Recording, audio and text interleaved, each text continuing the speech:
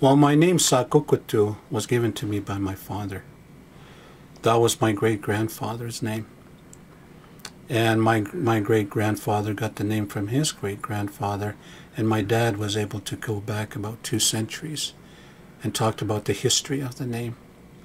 Now, the reason why the name is so special is that in the future, either one of my sons, grandsons, or male relatives wants to take this sacred journey that I went on, then I would have to give up that name. So the name would would uh, would continue with that individual, and then in the future, they would be doing the same thing. Now, the importance of having names is that once you you give that name to another individual, there is a ceremony that's involved, and also the teachings that go along with the name, because then you have responsibilities.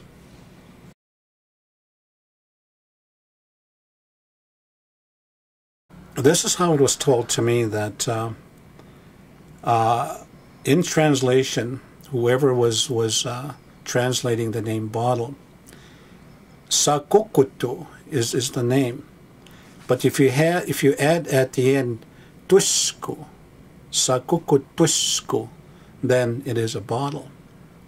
But Saakokoto is means either clear ice or crystal.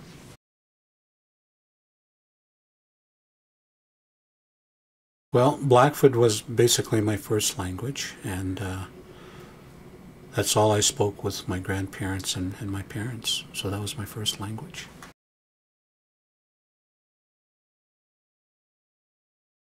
Now, because of the uh, the legacy of what happened to all uh, First Nation people, a lot a lot of us lost a language.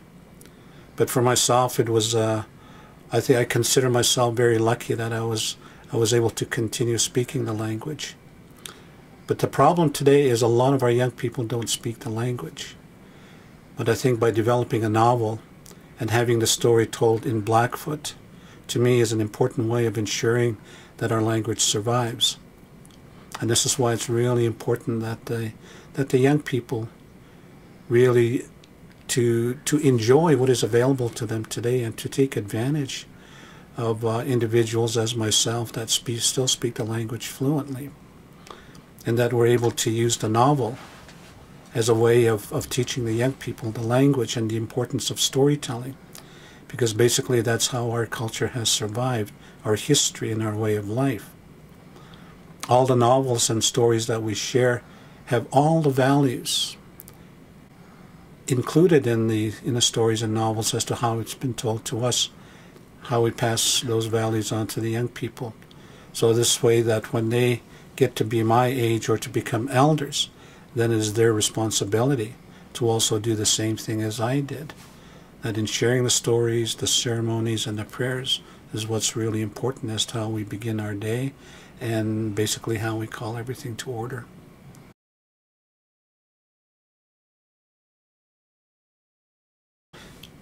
Protocols are very important to our people.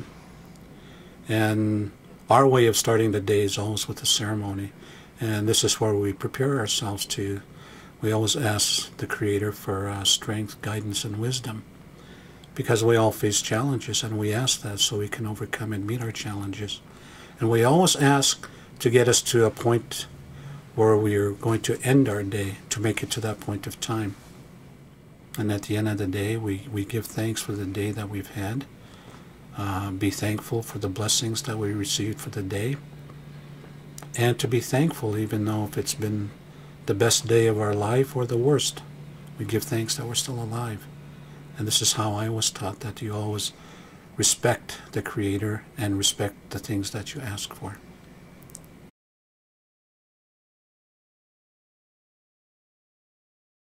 A lot of the stories were handed down by our grandparents. And that is basically our family structure where the, the grandparent is responsible for telling the stories to the young people. And these are the stories that I used to hear my grandparents tell, where they have gatherings where other elders come to the house. Then basically that is my entertainment for the evening, is to listen to them telling stories. Now there's some stories they only tell us once, and it's up to us to remember them because throughout history our language was never a written language. where symbols were used more or less to uh, to record our history, and also events that had taken place, travels, and all those stories are out on the land. This is where you could find them.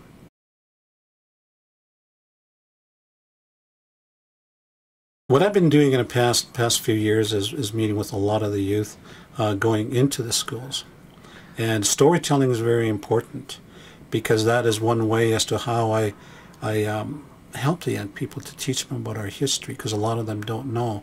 Sometimes their their uh, understanding of history is when Columbus landed. That kind of history has been shared with them. But I think now that we have to have the opportunity to share our culture through storytelling and also now using novels is an excellent way of teaching them so they, be, they can become familiar with our history, become familiar with our protocols. And there's a lot more that they need to learn about our cultures as to how we recorded our own history.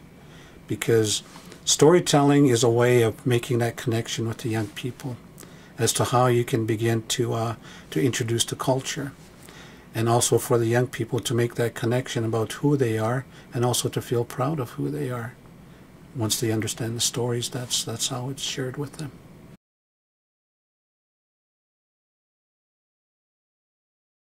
Well, we do have a lot of values within our within our, our society, the Blackfoot Society, or the Blackfoot speaking people.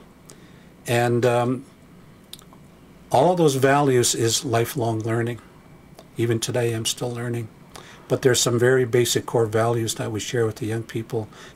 One of the values that we have is uh, how we convey to the young people the importance of uh, our values. For example,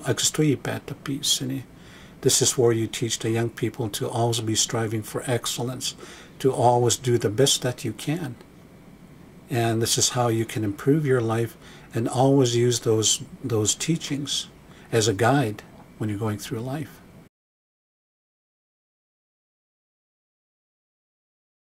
It's it's very difficult because of uh, of our teachings for me to uh, to boast about accomplishments, and um, and this is why uh, uh we only talk about uh, how we work with the young people.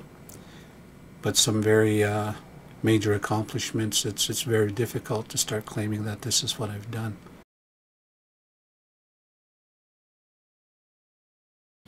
What was amazing about the about the story as to how it was really accepted by the community, the public, and, and also the schools. And because of how the story was told and sharing part of the, uh, the Blackfoot culture, it got interest right from around the world, and it has gone global. And apparently the, uh, the novel itself has gone to uh, the UK, France, Africa, and also Australia. And uh, there's more requests from other countries that want to have a copy of the novel.